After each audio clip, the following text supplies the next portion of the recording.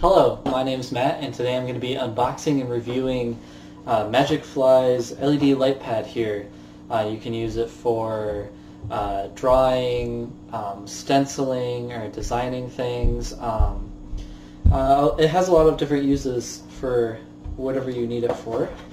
Um, comes in this nice little box here. Open it up there.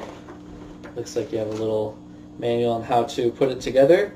It has some clips for uh, paper and such. Put that off to the side. And it has the stand here for holding it up, so you don't have to do it on a just flat surface.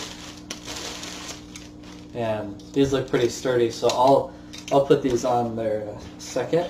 Here's uh, for the power, a micro USB there. So here, the actual board itself. And that looks really nice. Has a little manual on top there. You can see all the little lights on there. And it just has a simple little power button here. And it's super light, but it feels super sturdy. So I'm going to put this together and show you how to use it. So I've put the power cable in there, and it was super easy. Um, then all you have to do is press the power button. And it has level 1 brightness, level 2 brightness, and level 3 at the brightest.